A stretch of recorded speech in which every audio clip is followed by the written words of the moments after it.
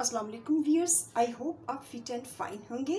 आज हम बना रहे हैं क्रीमी मैंगो सेपरा केक इससे पहले हम पतीली को प्रीहीट करने रखेंगे।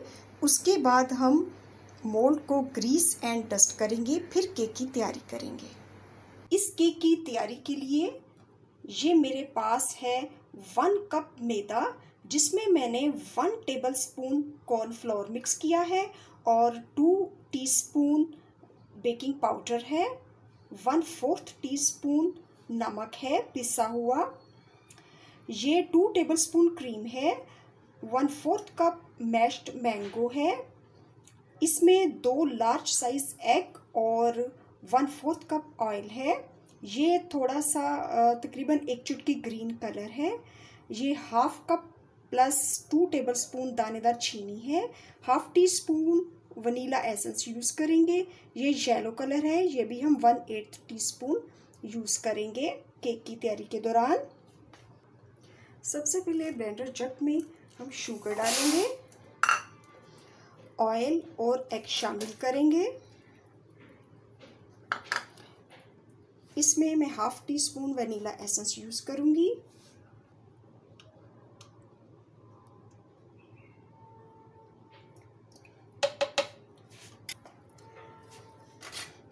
इस में हम मैंगो ये मैंगो प्यूरी आप ले लें या मैश्ड मैंगो ले लें, ये भी शामिल कर देंगे।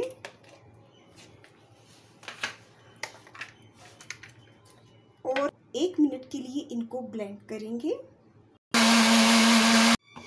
अब ब्लेंड किए हुए मिक्सर को हम बोल में निकाल लेंगे।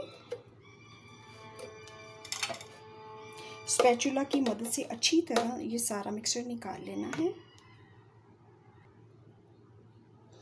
अब हम ये दो दो टेबल स्पून ये खुश्क अज्जा डालते जाएँगे और इसमें फोल्ड करते जाएँगे। एक ही डायरेक्शन में आपने फोल्ड करना है। क्लॉकवाइज घुमाना है।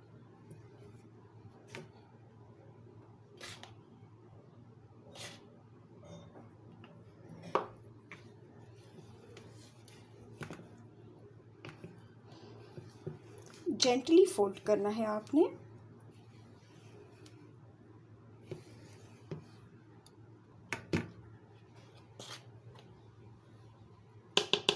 सारा मिक्सी डाल देंगे।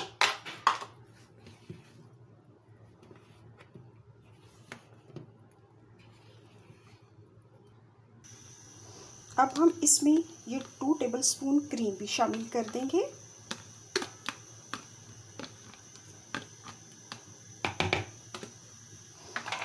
इसे भी मिक्स कर देंगे।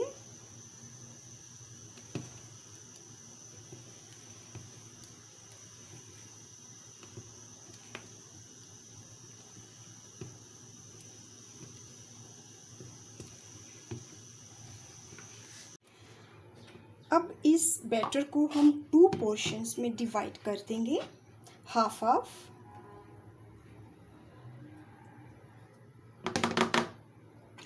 एक में ग्रीन कलर शामिल कर देंगे और एक में एक चुटकी येलो कलर शामिल करेंगे।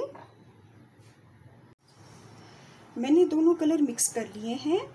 येलो कलर लिया था मैंने वन एट्थ टी स्पून और ग्रीन कलर मैंने one eight eighth teaspoon लिया था। मुझे वो कम लगा था। मैंने मज़ीद वन एट्थ शामिल कर लिया। Total one fourth teaspoon green colour इसमें गया है। ये राउंड केक मोल्ड है। इसको मैंने ग्रीस करके, डस्ट करके रख लिया था। अब हम ये थोड़ा थोड़ा मिक्सर इसमें डालेंगे। टू टेबल स्पून डाल लेते हैं, येलो कलर। और इसके ऊपर हम डालेंगे two tablespoon green colour.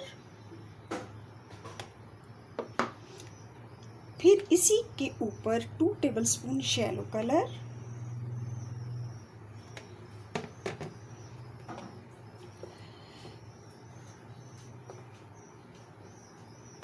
फिर डाला ग्रीन कलर फिर इसके ऊपर चाय का शेलो colour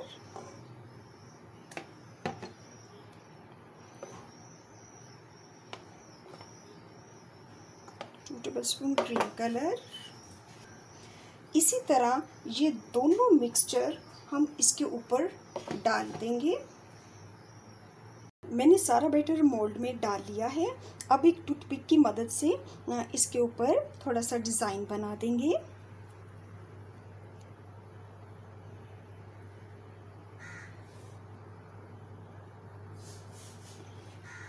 और इसे बेक करने रख देंगे। हमने पैन को पतीली में रख दिया है। अब इसको ढककर 40 मिनट तक बेक करेंगे। पतीली के ऊपर एक ऐसा ढक्कन दिया है जिससे कहीं भी स्टीम रिलीज़ ना हो और उसके ऊपर एक ईंट रखती है।